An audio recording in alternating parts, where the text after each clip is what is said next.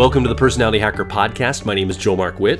And I'm Antonia Dodge, and we are continuing our series on intuition and people that we call intuitives.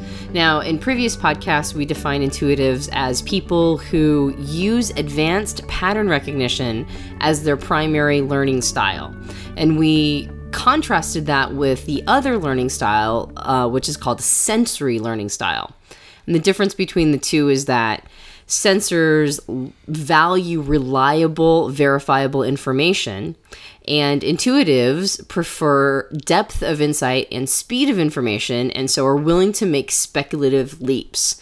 And if this is your primary learning style, then it completely changes the flavor of your personality type. So we've got a series of podcasts dedicated to people who use that intuitive learning style.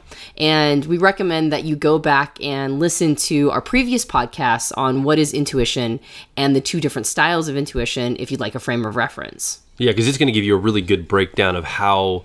Uh, how there's like nuance between the styles of intuition because not just intuitive people but they also have two different flavors and so those are really going to be key for understanding more of what we're going to build upon in this episode and future episodes yeah and what we talked about in previous episodes was a percentage breakdown of how many people use intuition as their learning style versus people who use a sensory learning style. Yeah, and really it's a about a 25-75 split between the two. So our world, a majority of people, about 75% of the population, at least in the Western hemisphere, North American hemisphere, uh, North American uh, continent, because uh, that's where some of this research has been done, it's about 75% of the people will use a sensory learning style, meaning they're learning through their senses, sensation, they're looking for verifiable information, and about 25% of that intuitive style, intuitive learning style. And what this does, like we've talked about in previous podcasts, is it sets up a dynamic where the majority rules, right? So you have a world that's pretty much created for a sensory learning style and it's catering to that style of person because that's the majority of people in our world. It's very similar, we used this analogy before, very similar to a left handed person living in a right handed person's world. You know, our, our mouse on our computers on the right side, so a left hander, they're out of luck. They got to figure out how to use a mouse on a desktop computer on the right side or use scissors that are designed for right handers. And they kind of have to adapt and, and basically make it work in a world that's not designed for them. Right. So, for people who are intuitive, they experience something very similar. They navigate a world that is designed for a different style of learning than what their preference is. And so they end up being sort of ambidextrous, just like a left hander is forced to become at least moderately ambidextrous in a right hand world. And and we mentioned this last time in one of the previous podcasts. I'm a right hander and I don't even think about left handers. Yeah. like like I don't even I, like it's not something that occupies my like mental real estate at all. Like when I pick up a pair of scissors, I don't think, "Oh, I wonder how left-handed people use this pair of scissors." Like I just pick them up and use them. And it's really similar for sensors and intuitives. Like sensors don't really think about intuitives. They don't really consider that there's a percentage of the population that think radically different, that have a totally different frame of reference for how they navigate and understand the world, what's interesting to them, what their individual needs are. They don't really think about it. And so intuitives end up, well, two things happen. Intuitives, number one, end up not getting a lot of needs met because yeah. nobody really is thinking about getting their needs met. And the intuitive doesn't really know how to do that for themselves since there's not a lot of say intuitive mentorship programs that are real obvious. And so intuitives tend to not get some pretty profound needs met. And the second thing that happens is that is that intuitives can start to believe that they're broken. Uh, they can start to believe that they are the only one like them, that they're major big fat weirdos, and that there is something just profoundly wrong with them. And and if a sensory environment has reinforced this, then the intuitive not only feels like odd man out, but then they've been told that they're odd man out, and that just compounds the problem. They just believe, oh, well, I must just be profoundly broken in some way. Yeah, you you actually told the story to a friend of ours today. Uh, you know, there's that 12 year old kid who his mom is like, you know, I me and my husband were normal. I was a cheerleader. My husband was, you know, on the football team. We went to college. We got jobs, and now I've got this 12 year old who's into weird stuff like you know just things i don't understand and he wants to have conversations that are really abstract and all this and i, I think he's bro- i need to go get him some ritalin or get him fixed or have him go to a shrink I think he has ADD. he's got ADD something's wrong with this kid because he just doesn't think the way that me and my uh, we Right. don't me and my husband didn't think like this when we were kids Right. what is wrong with my son right. I was popular. Why is my kid a dad? yeah why, why, why is you know why is this kid a geek or whatever so it's this kind of thing like uh intuitives sometimes don't have people that understand and and the, i think the biggest thing about it is that intuitives ourselves if we don't understand this about ourselves we are going through life with this ability of pattern recognition whether it's like we talked about before in introverted or extroverted but we're still going through life going how do i see stuff that other people don't see? I'm seeing things and i'm making connections that seem so so real to me and when i talk to other people they're like what? That's not what's going on. That's and then sure enough i might be right down the road or i might have seen something and made a pattern connection. I was like see i know i knew i was right about this and like or not right necessarily but i knew i saw something here. I knew i saw a pattern and i don't even know how i saw this so what what is it about me why do i i don't fit in i feel so weird and so odd and so out of the loop Yeah. Uh, I just want to make a note that not all intuitives are geeks or duds. and I, I might be overvaluing my own they're ex- listening they're listening to us of course not. Exactly. Of course not. we're not geeks or guys. Yeah. so I might be overvaluing my own experience a little bit because I was raging geek in high school. So I always use that as my frame of reference. I know plenty of intuitives that were massively popular in school. That is not the norm, though. I think intuitives have a tendency to know their difference. And that is something they contend with, regardless of their quote unquote status of popularity in high school. Yeah. And the reason why we're referencing that is that that's oftentimes a reference point for the person themselves. Like, why is it that I had trouble making friends growing up? Why is it that nobody really could understand me? yeah So I don't want to indicate that that's like the sign of being intuitive is that you know you're playing Dungeons and Dragons library during lunch or anything, but it's it uh, it can be a like sort of a common marker um, that intuitive share is that yeah they were misunderstood they were into stuff that other people weren't and so you know it's confusing. Uh, the second thing I want to mention is that there is a sense that people get because intuitives do see behind the curtain because they can pattern recognize. They don't get the the sort of the privilege of blissful ignorance. Like some people are pretty you know considered weird maybe but they have no idea that they're weird. They just never have that self-consciousness. Yeah. And while, you know, perspectives users, the introverted style of intuition can sometimes be a little detached from how they're, pr- like basically how they're showing up, like how other people are seeing them. That can be something that they grapple with a little bit. Most intuitives start to pick up pretty early on that they're, like, other people are not seeing them as the same. Yeah. So it's not like they can be different and then not get that. They're different and frequently they know that. They're very aware of it. And so they do get this feeling that there's something not just different but wrong, right? Because it's you know, we we think in terms of contrast. And as we're growing up, we have all these value judgments given to us. Like little kids are forever deeming things in black and white and forever deeming things as either good or bad. So different ends up being either deemed good or bad. And frequently for intuitives, the Yeah. difference ends up being called bad.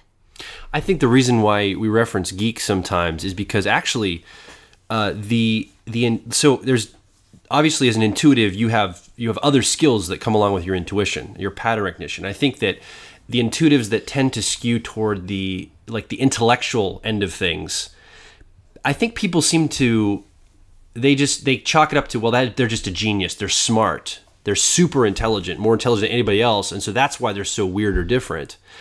And yeah sometimes they might be they might have a tendency toward geekiness or not. It depends. But i think because intelligence is valued even among you know people that use a sensory learning style, intelligence like raw analytical type intelligence is valued by a lot of people. It's kind of like well they're just they're just so smart that's why they're weird. And they kind of almost give them a pass for being mm-hmm. smart and weird. Right. I think it's a it's an even more challenge for an intuitive someone who uses an intuitive learning style when their their talent doesn't lie in analytical intelligence. They might not be mm-hmm. dumb, but that's not they're not getting super high, you know, scores on their SATs and super high IQ test scores. Theirs is more in the arts or performance or making artistic connections or uh, other types of connections. I think those people sometimes, those types of intuitives sometimes don't get the, well, they're just smart. And that's why they're so weird. Pa- Right. pass that is Because- given to the smart people. Does yeah, that make sense? Yeah, because they are smart, but they're not smart in sort of that conventional way. Correct. They're not Yeah. smart on the IQ test way. Maybe they are as well, but they're not. That's not what they're choosing to have as their showcase of bringing to the world. Mm-hmm. Right. Is, So- is that making sense of what I'm Yeah, saying? yeah, and so there's not a convenient category to put them in. I I think of the show Big Bang Theory. Mm-hmm. The main character is an intuitive character who uses intuitive learning style to make a lot of connections, and he's very geeky, obviously. And people, it's it's all of America gives him a pass for being so weird because he's so intelligent. It's like they come together as a package. Mm-hmm. Right. But if that same show was around somebody in a different discipline that wasn't around intelligence or analytical Mm-hmm. intelligence, I have a feeling that people would be. I don't think he'd get as much of a pass from everybody. Does Less amused. Yeah. Yeah. And and if you aren't easy to categorize, if there's not like a easy archetype to put you in, it's really easy to get dismissed. Yeah. Uh, as just a weirdo. I, I know of a kid who's an intuitive. I may have mentioned this in a previous podcast. I actually don't remember. But I know of a kid who is an intuitive whose parents took him to a psychologist and said, This kid is broken. Yeah. And the psychologist was like, No, no, he's not. he's not broken. He's just very different. he's just different. And they're like, oh no, he's broken. And so, and and in part it was because this kid couldn't be, con, you know, categorized. And so it was very difficult for his sensor parents to get him. Like, like I'm not sure exactly where he fits. I don't have a frame of reference for this. So I don't think they were intending to send a message to him that there was something profoundly wrong. I think that they were just legitimately trying to understand their son. I think it was just something that they they were having to struggle with and they wanted the psychologist to understand exactly how serious the issue was. So they used a word that they probably didn't even mean. This kid is broken. Yeah. What they were really trying to say is there is a brokenness in our relationship and can you help repair and fix that? But they weren't sure how to articulate that, so they they put it on the kid because they know they're not broken. So if they're if the relationship is broken, then it must be on the other person's side. And that's particularly sad because now you've got this kid that's, you know, been given a message totally erroneously and accidentally and all intended in a positive way. Like everybody had positive intent and yet still the message was sent that he's not okay. Yeah. And I think this brings us full circle to what we're talking about today. Because people that use a sensory learning style are looking for that concrete, tangible, in their minds, they have categories for everything. Everything fits into a nice, neat package. And if you, as an intuitive, don't fit into that nice, neat package, you have one of two options. You continue to be kind of out there and, they, and no one knows where to place you, or you take control of the situation and you place yourself into some type of a nice, neat package so people can relate to you. But when you do that, by definition, you're now giving up a part of your true, authentic identity because you're fitting into a definition someone else has instead of your own definition.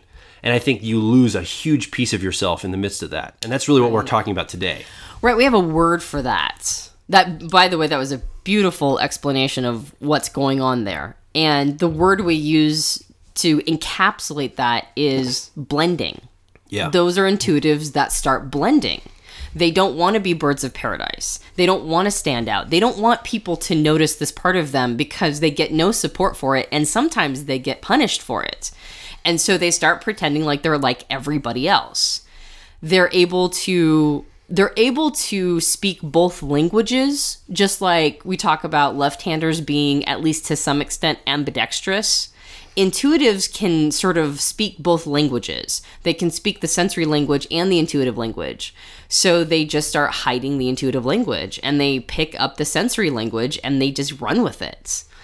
Like you said, though, they end up denying and neglecting a very, well, an integral piece of who they are. Absolutely. A part that can't simply go away because they don't want anybody else to find out about it.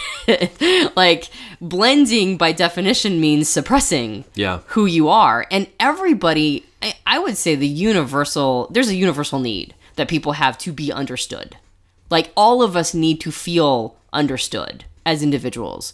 And if a if an intuitive starts to blend, then they have disqualified themselves from being understood because they won't bring themselves they, they, they won't They're not being authentic. yeah, they won't show enough of themselves to be able to be understood. And I've seen a lot of intuitives say that, well, you know, even if I show up as an intuitive, I still have a lot of one sided relationships Yeah. where I know the other person way more than they know me. Very common for, for intuitives to say that. I'm just surrounded by one sided relationships. And it's in part because this intuitive aspect of them is you know this is so so much a piece of who they are and they feel so vulnerable when they expose it that that by definition means that they're going to have one-sided relationships. And as they ease this intuitive part out little by little right in the relationship and they show more and more and more of it it's really easy for them to get spooked. So if there's any negative feedback because it's already such a raw open wound those sort of run back behind whatever defense mechanisms or strategies they're using, in particular blending, and people blend in a variety of ways. They run back behind that defense strategy and now they're stuck in one-sided relationships. Yeah, and I think the other the other piece of this too is whatever we do in life, we get more of. Right? If we go down, like you kind of go down, you're on trajectories. You have momentum behind you in things, and so if you're someone who uses an intuitive learning style and you've decided for whatever reason to blend, like we're talking about, put yourself into some category so people can relate to you, and you've been doing this for a while now, you begin to build some identity around this, and part of that part of that piece of you it's almost it's almost I've, in fact we, we live in this town where we know a few intuitives that are like this. They've been living in the shadows behind their this category they've given themselves of whatever. They're truly intuitive but they don't show that side of the world very much or hardly ever. And now they're almost stuck there. They almost feel like they feel trapped in this place. And i think this is like our program intuitive awakening really speaks to this. It's like um, it's it's the it's the the ability to say I'm going to start breaking back into my intuition, my intuitive self, and become more my authentic self again. And it's a tough road because you've been building these frameworks and and ways of doing things and categories and how you're relating to the world that to extract yourself out of, people are going to think you've lost your mind or you have now. What you? Who you've is always this been- person? Yeah, you've always been this way, and now all of a sudden you're this way. And what is going on for you? Yeah. Like, how are you? Like, so so you got this message maybe young, and you decide to build some walls and frameworks and some categories around yourself to help protect yourself in this sensory world you're living in. And now that you are uh, listening maybe to these podcasts and you're starting to get an, an inkling of what this actually is for you and what's going on inside your heart and your mind and what your authentic self is it's going to be tough sometimes to extract yourself and bring yourself back into that intuitive self because you've been spending so much time blending like we're talking about. Yeah, well, and no, again, nobody wants the one-sided relationships to be exposed either because even if deep down inside you know that these are one-sided relationships, like, you know, part of blending is not admitting to yourself that you are allowing a very important part of who you are to go, you know, to go very neglected. And so if I go, well, crap, I've been basically building one sided relationships my entire life, and my house of cards of my tribe or my relationships or the people who are important to me, that will all come crumbling down if I step into my intuitive power. That might not be worth it. It might be it might be worth it to continue to blend, you know, and play it safe than to, you know, just basically go, yeah, I've been kind of living a lie. and it might not feel that bad in you know like well no i can i can show this part of who i am to my friends and family and they'll be totally fine with it. However the people who are really invested in blending they know that's a lie. They know that they can't do that because they would have already done that if they could. Yeah. if they really believe they had permission to do that they would have already done it because that's what we really want to do is we want to again be understood for who we are. And so one I, I want i want to touch on two things that blending does to an intuitive. I think that blending is extremely uh, it's very damaging. I think it's very damaging to an intuitive. And in in primarily because it does two really painful things or creates two painful scenarios. The first scenario is that any intuitive that blends is by definition not getting one of their primary needs met, and that is intuitive conversation. Running into other intuitives and having that really high level, intuitive, cross pollinating conversation where you're idea generating and the other person is idea generating and you're speculating and you're talking about what could be and you're talking about, you know, you're talking about things that are both outside the box and you're talking about the box itself right? Like Yeah. those conversations, that is like food for an intuitive. That is nourishment. If you don't get enough of that, your soul will starve. People who are intuitive that blend may not get very much of that if at all, you know, any of that at all unless they're willing to open themselves up to other people as intuitive. And the sad thing is that if you're blending, how many other intuitives are also blending? So if you ran into each other, you might never know that this person is the one person who can be getting your profound fundamental nourishment need met, but you both are still talking about the weather because that's what you've taught yourself to do in order to play it safe. Absolutely. So that's the first really damaging thing that blending does is it doesn't allow you to get one of your very unique but not any less fundamental needs met. You have to get that need met as an intuitive otherwise you will collapse it on yourself. I know tons of intuitives that don't get that need met and and they believe that they are just chronically chemically depressed. Yeah. So they're on medication. And it's so sad because I'm like uh, seriously it now i'm not saying that chemical depression doesn't exist. It very well could be. You might need to be on medication. I'm not trying to indicate or diminish that as a real situation. However i have known some intuitives that if they just allowed themselves to express themselves authentically they would allow themselves to get into a flow state. They would allow themselves to get their their own minds to fuel them and give their them energy by being in flow in the world and they might not need to be on antidepressants Yeah. And I, I think this is a difference between you and I. I think you stumbled onto this concept of intuition at a, younger age than I did. You kind of had an idea, an inkling of intuition. And so you were able to identify other intuitives kind of, and you also grew up on the West Coast of the United States, which is more of, I believe, more intuitive friendly space than the East Coast of the United States where I grew up. And I didn't have language for some of the things I was going through. And so I think, you know, for me, I think I ran into a lot of intuitives. I'm discovering people from my past who I've kind of been friends with since I was a teenager who, eh, had I known about intuition and had I known I was an intuitive and they were an intuitive, I probably would have purposely pursued friendships with them more because I realized, oh, if I pursue this friendship, both of our guards can come down and we can have really high level intuitive conversation.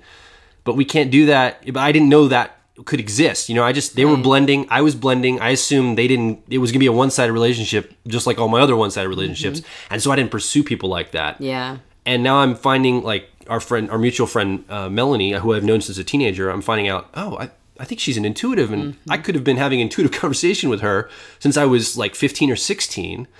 And I didn't even know that. I didn't know to pursue that relationship of a friendship with her because I just assumed I I didn't know what was going on there, basically. Mm-hmm. And so I think this is really key. If you can get this, and like you said, it's it's so powerful because now you have language, you have a, a, a way to understand that oh, this person might be blending also. And if we could just kind of get past that, bam, magic could happen. I could have somebody to converse with, and that very needed conversation. Yeah, and the solution is is to be the example. The other intuitives are probably blending too. Yeah. Cuz they're experiencing the same thing that you're experiencing. So one of you has to come out of hiding, right, in order to signal the other person.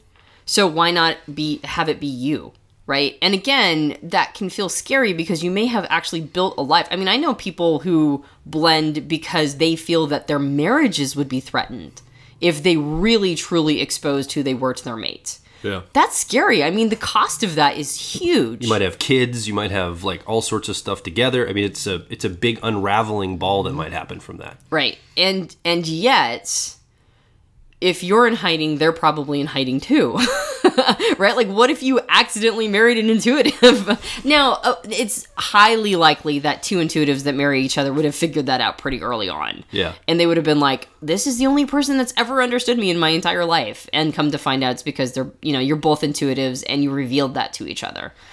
And I don't, I know plenty of intuitive sensor relationships that have lasted a very long time. I don't think that's the death knell for a relationship. And I don't even think an intuitive allowing the sensor person, you know, mate to understand their unique you know their their unique needs and who they are deep down inside. I mean, the sensor might have a little trouble grasping it to some extent, but I've never seen that kill a relationship. Yeah. I've never seen that kill a marriage. I know that that's one of the fears, but I've never actually seen it. I mean, my parents, my mom's an intuitive, my dad's a sensor, and they've been married for like 50 years. Same So- here. My parents are the same way. Yeah. So, I mean, I know that it, de- it definitely can, there's lots of success stories of those kinds of relationships, but that doesn't mean that the fear isn't real, right? Like, that's the fear. So, one of you has to come out of hiding. Like if you run into other intuitives, somebody's got to, you know, be the example. So be the example. Have courage. Like be the person who comes out and goes, "Yeah, I'm the weirdo." "Oh, you're a weirdo too? Awesome. Let's go talk about weirdo stuff." And uh, the the level of increased joy and happiness in intuitive's life when they just stop pretending, when they just stop blending. Yeah, there might be a little bit of fallout. There might be a little bit of like, why did you never express this before? Or like, I didn't know this about you. It's so minimal. like, it's so minimal. And the pain of going through that situation is nothing compared to the daily pain you experience blending, right? We call the blending experience death by a thousand cuts Yeah. right? Like it's just it's a thousand times a day you get these little messages that you're not okay and you gotta hide, gotta hide, you gotta hide.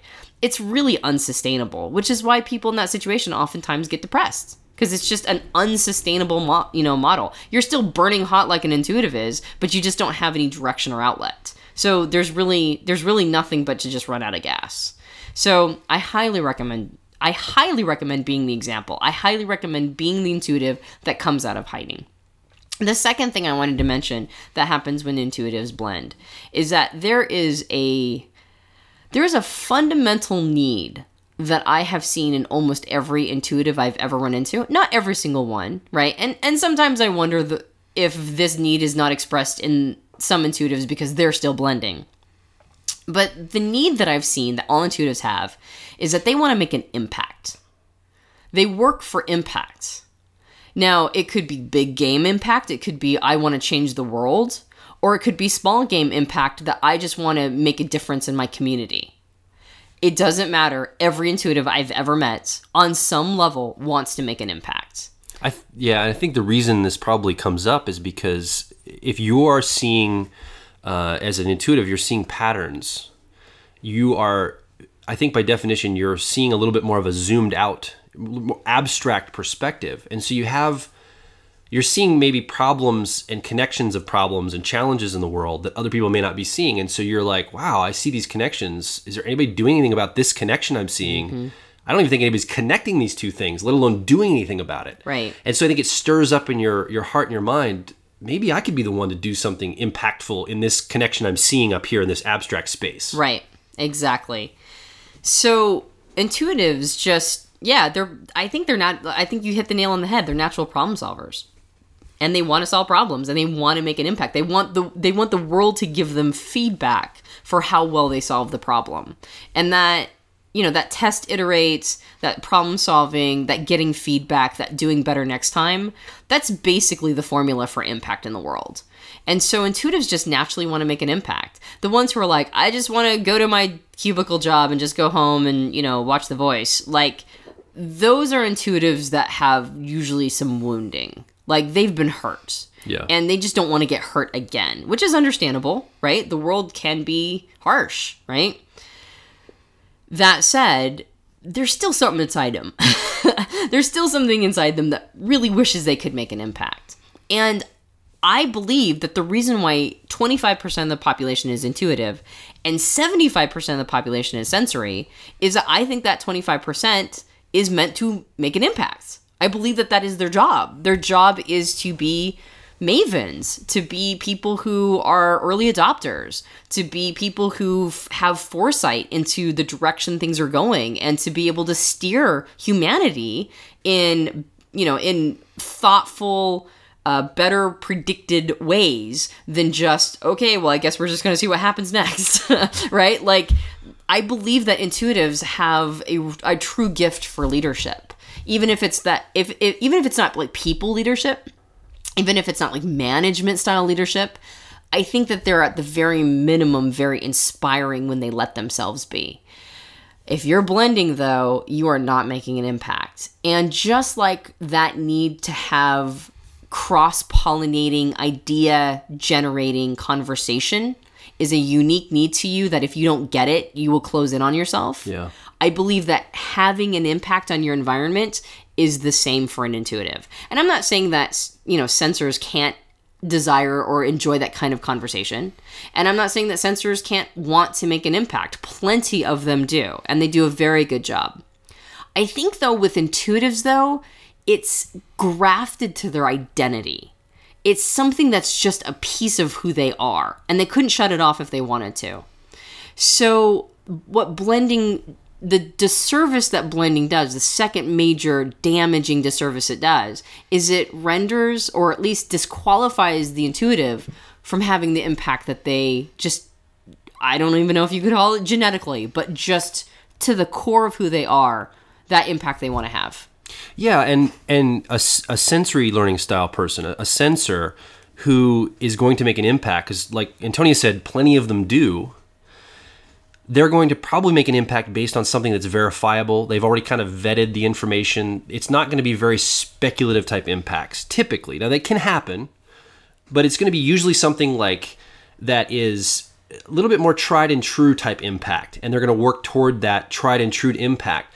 And I think the reason why intuitives, I think the, the word I would use is skittish. They're almost skittish to take the lead and try to make an impact sometimes, is because the nature of it is speculative. Some of these connections they're making, there's no certainty that it's going to work out. And and as an intuitive, you know that most people don't like that kind of movement where you're going to go down a road where, look, I kind of have a hunch this is going to lead this way. If our company implements, you know, let's say it's not a world changing impact, just in your company, you want to impact, you want to do something small for the employees in your company, you bring a great idea to the CEO, and he's like, well, how's this going to impact the bottom line? You're like, well, I just kind of have a feeling it's going to. I just kind of got this gut that this is like the direction we need to go. And he's like, well, can you show me on paper? It's like, you can't really show him until you experience it together as a company. And it's like, how do you prove it? You can't prove it ahead of time.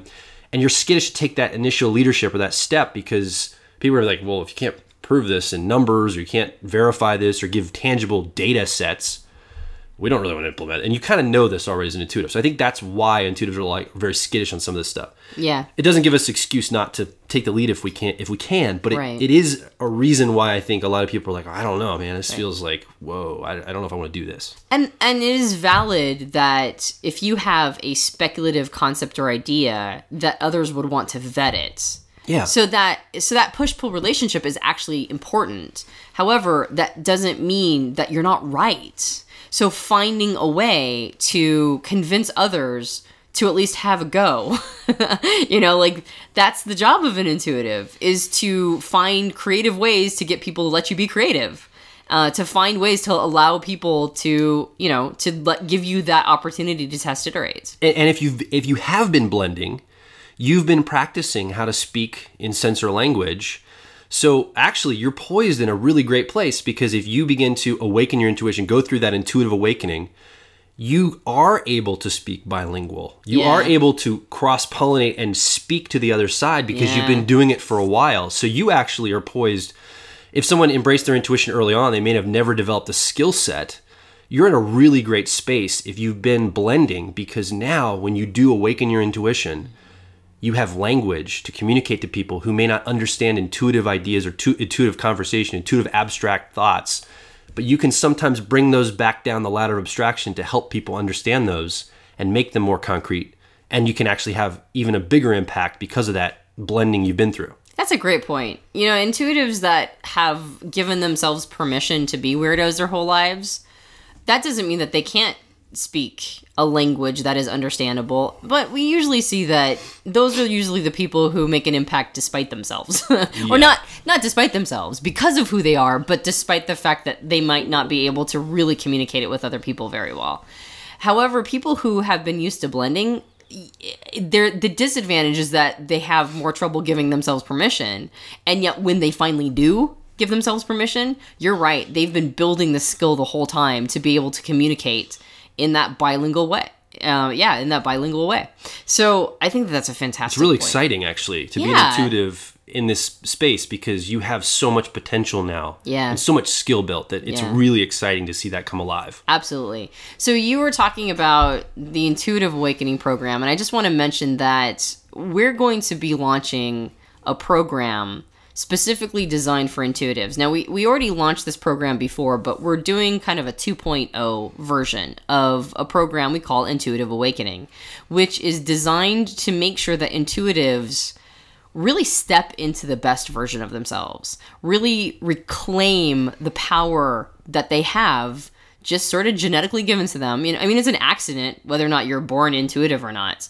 And yet, that whole adage with great power comes great responsibility. Yeah. if I mean, there's only 25% of the population that's intuitive, and if all of them go blending, then the world stagnates right like we don't we don't get the advantage of having those intuitives in the ecosystem in the perfect social ecos- ecosystem that's set up i mean there's only 25% so we kind of need them all so if you're an intuitive that resonates with this concept of blending if you're an intuitive that doesn't feel like you've really reclaimed this part of you we want to invite you to check out the program Intuitive Awakening as it comes up later. Now, we're going to talk a little bit more about it in future emails. So, if you're not if you're listening to this podcast and you haven't signed up to our email list, we really recommend you go to personalityhacker.com and uh, as a bonus, go take the free version of the assessment if you'd like. Find out if you have intuition as one of your learning styles, or one of the styles of intuition as your learning style. Uh, if you come up as either as exploration or perspectives, those are the intuitive learning styles, and that automatically signs you up to our email list, which I recommend being a part of because we're going to start leaking some really cool content information, some freeline content if you're not interested in the program, but just kind of want to get an idea of what this is all about Yeah. And become a part of our email list so that you can get really good, high quality, cool stuff on becoming a better version of yourself, specifically as an intuitive. Yeah, and we obviously, you know, we we do this as our our business, our livelihood. We'd love for you to take the program, but we also have a mission of awakening people's intuition if they're intuitives. And so we have a lot of free stuff that's coming out, a lot of videos, a lot of like this podcast, obviously, things like this. We can communicate with you. Please ask questions. Come on the Facebook page and communicate. We are building a community of people of like minds there. Um, so there's an exciting community emerging of intuitive, and it's a fragile space to be in, especially when you're going through this initial intuitive awakening experience. You're you're in a, sometimes in a fragile state because you're you're really vulnerable to people who maybe you've you've been blending in front of for a long mm-hmm. time, and now you're going to be all of a sudden changing some big aspects of who you are. Yeah. And so you need a community to support you, and so we want to be there for you regardless if you come through a program of ours or not. This is important to us. and Yeah. you're important to us, and we want you to be a part of that community regardless. This is the impact we want to make Yeah. in the world. Like the way that we want to change the world is we want to light intuitives up. We want to be the pilot light that helps intuitives really get inspired to become the best versions of themselves because we believe it's really the way to kind of solve all the world's problems. like if we had every intuitive lit up and really focused on making an impact, a positive impact on the world, whether big or small game. Can you imagine how much true progress we could make? We could make some serious progress. So it's it's part of it's part of our mission is Yeah. to make sure that intuitives feel supported, that they feel good about who they are, that they give themselves full permission to be intuitive, and that they're lit up to do to make the impact and you know be the change they want to see, and then go make the change too. Yeah. we want to make sure that we are we are here for intuitives. chances are if you're listening to this you're probably an intuitive learning style because we talk a lot about intuitive stuff we have these kind of conversations but to know for sure head over to the website you can find out if your perspectives or exploration You can take the test for free just to get your initial results, and uh, and either one of those is an intuitive learning style. That means you are an intuitive, and that's a good thing to know as you continue to listen to all this stuff about intuition because you're going to want to know that about yourself. And uh, and obviously, you know, we'd love for you to join the program, but also come over to our Facebook page, facebook.com forward slash personality hacker. Make yourself known there, introduce yourself, say, hey guys. Uh, feel free to make comments and ask questions. So we'd love to dialogue with you there. Right. And you can make a comment on our website, personalityhacker.com. Let us know what you think. Let us know what you would like us to talk about in the future. If you've got any subject you'd really like us to focus on, or you can find us at on Twitter at Twitter forward slash personality hack. Yeah, they wouldn't let us get the whole hacker in Right. there. So H A C K. So come be a part of the conversation because that's that's what kind of what we're here for. Absolutely. So in the meantime, I'm Antonia Dodge. And I'm Joel Mark Witt. We will talk to you on the next episode.